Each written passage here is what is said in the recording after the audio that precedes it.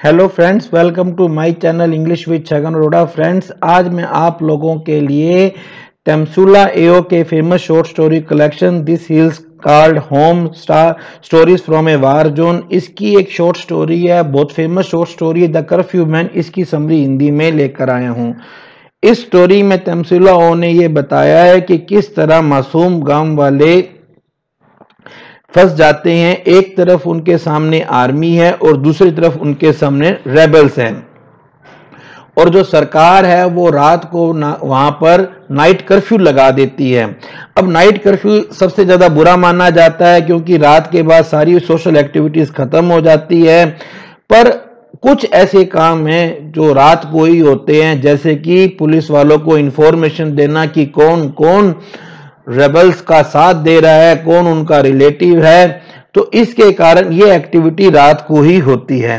तो यहाँ पर हमारा जो हीरो है, उसका नाम है सेटेम्बा ये एक पुलिस कांस्टेबल थे, जो कि आसाम पुलिस में जॉब कर रहे थे। अचानक उनको क्या हुआ? उनको जॉब से हाथ धोना पड़ा क्योंकि उनके पास जो नी कैप था, वो नी कैप फटा हुआ था।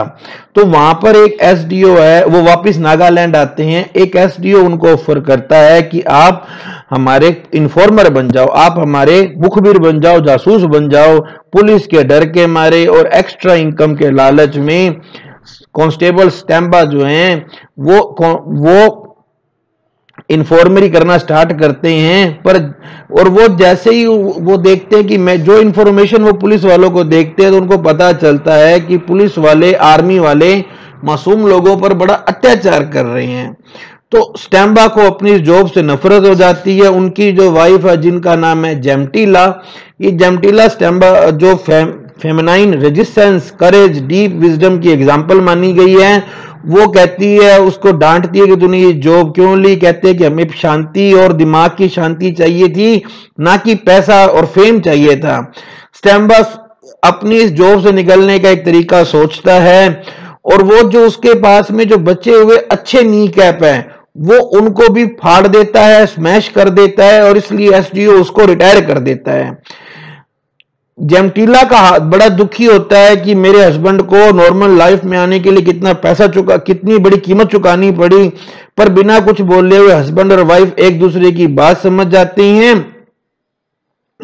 और वो अपने, ये जो उनकी जो पर्सनल लाइफ है, बड़े आराम से चलती है।